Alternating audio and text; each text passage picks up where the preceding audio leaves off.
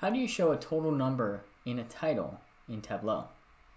In this example, I have a bar chart with sales by month, and I'm showing the total in the title.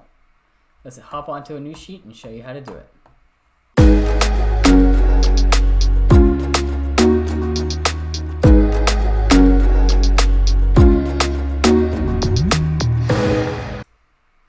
I'm on a new sheet and I've replicated the bar chart by month. In order to get the total for the entire table, I need to write a calculation.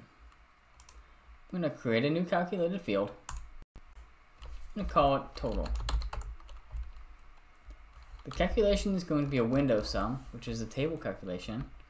It be called window sum, sum of sales. What that's going to do is sum sales for each bar and then the window sum will aggregate the entire thing as a total. Click apply, okay. Let's put total onto the detail shelf. That's not going to change the level of detail, so our bars stay exactly the same.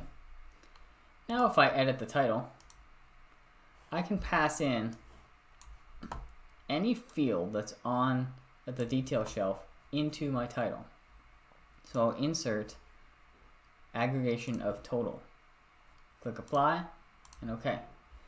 And I have 1.3 million as a total of all, all bars on the bar chart. Hope that helps.